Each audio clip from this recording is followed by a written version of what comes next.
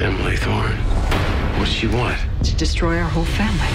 Victoria's first shot Don't you worry. That pathological creature is going to get what she deserves. could take Emily out in a blaze of vengeful glory.